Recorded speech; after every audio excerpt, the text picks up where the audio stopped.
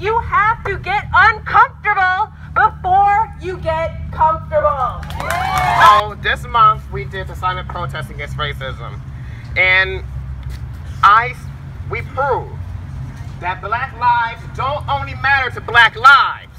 It matters to you guys that we did at that silent protest.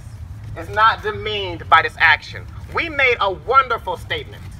We proved that black lives don't only matter to black lives. And we're proving it yet again, my people. True EMU all the way. We are the true EMU. Woo! EMU is diverse, and we're becoming inclusive right now.